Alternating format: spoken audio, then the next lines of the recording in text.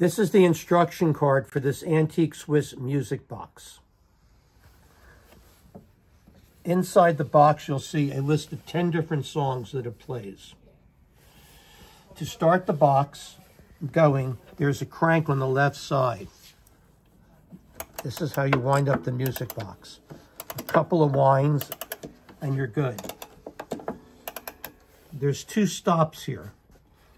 This is to play it where it says play. That stops it. And then this is the arrangement. So you can pick the songs.